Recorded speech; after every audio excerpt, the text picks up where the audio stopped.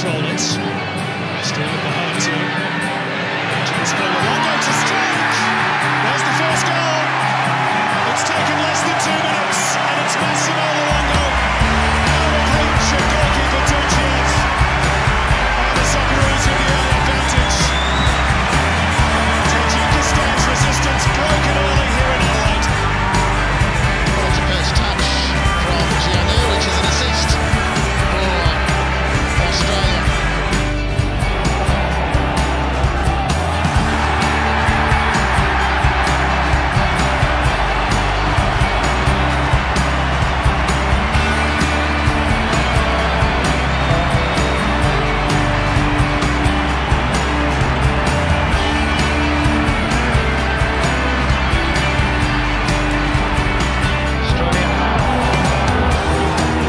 A little bit of confidence from that spell of pressure. Here's Juric, eager to atone. Good ball in.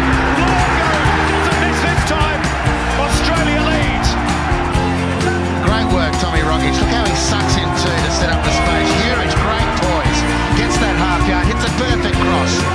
So after not 30 seconds earlier, completely fluffing his lines, Massimo Luongo shows him how it's done. The roof of the net is shattered, and Australia go one clear. Assist and a great recovery from Tommy Juric.